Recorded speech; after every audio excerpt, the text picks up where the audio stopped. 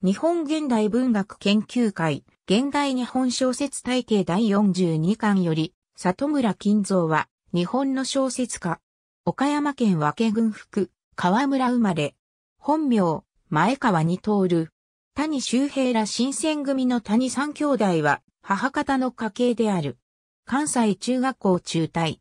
1922年、徴兵検査で講師合格、岡山の不評第10連隊に入営したが脱走、水死を装って逃亡し、満州を放浪する。後上京し、文芸戦線に投稿、1924年に深川貧民窟のルポルタージュ、豊川町からを発表して注目される。1925年に中国での体験をもとにした小説クーリー頭の肖像を発表し、プロレタリア文学の新進作家として認められる。この時代は脱走兵であることを知られぬために、写真の公表を拒んでいた。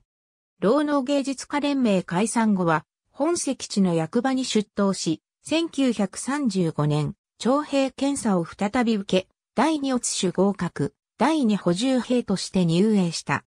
その後、除隊となったが、1937年、日中戦争時に召集され、1939年まで中国戦線で戦った。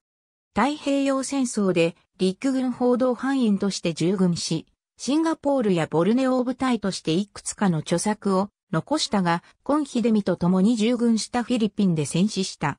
創価教育学会員であった。ありがとうございます。